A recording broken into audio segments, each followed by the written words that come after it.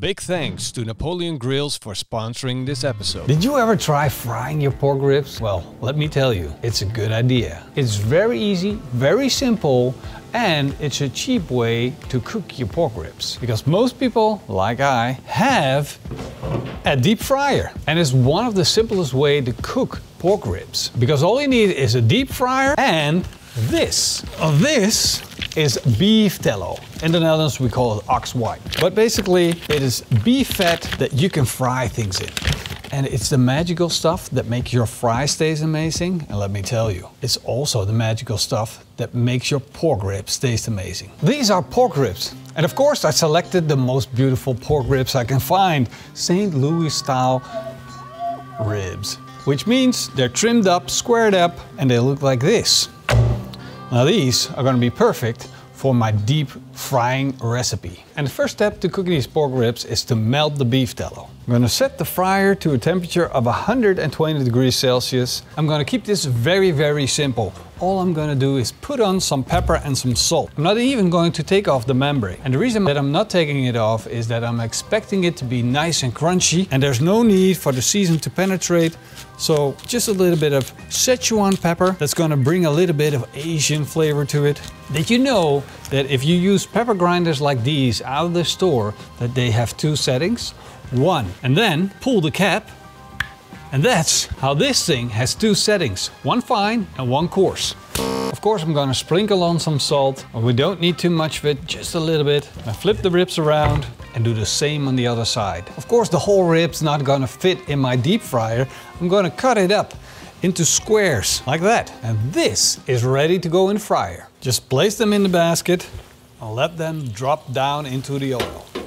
These ribs are now in slow frying mode. We don't have that 180 degrees Celsius that's gonna give you that instant crust on the outside.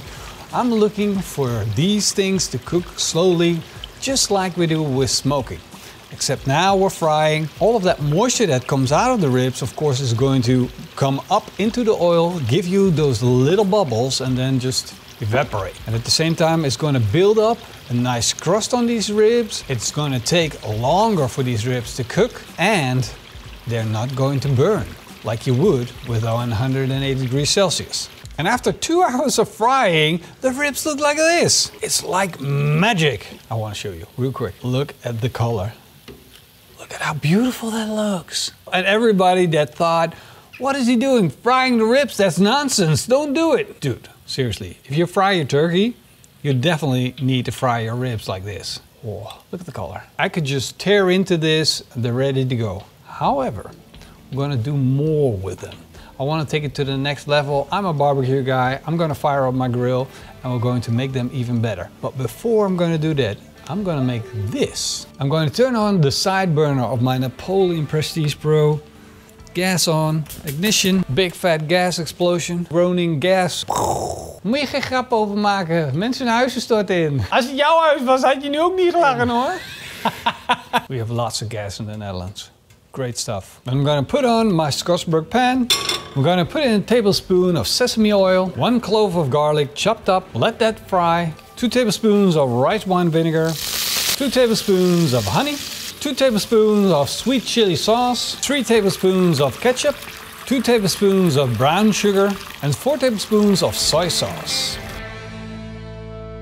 Time to fire on all burners now. I'm going to turn on the knobs, get my gas grill going, and I'm going to set them to a low setting. What I want to achieve with that is get a nice, a gentle heat that rocks over the whole grill so we can sear off those beautiful ribs and at the same time get that sticky sauce on. These are my beautiful fried ribs and look at how good they look. They've been sitting on a dripping tray and all of the beef tallow has dripped off. It's just a clean, crunchy rib. I'm gonna put them over direct heat there we go. Nothing crazy here. Just low temperatures keeping the ribs warm. And now it's time for the game changer. This sauce is gonna make these fried ribs freaking delicious. It's gonna make them sticky, it's gonna make them flavorful, it's gonna make them pop. It's the magic sauce that makes these ribs special. And by leaving them on a warm grill, it's gonna become very, very sticky. Got a little bit of sizzle right there. I'm gonna close the lid and let these ribs become sticky. After about 10 minutes, we're gonna flip them around, do the same thing on the other side.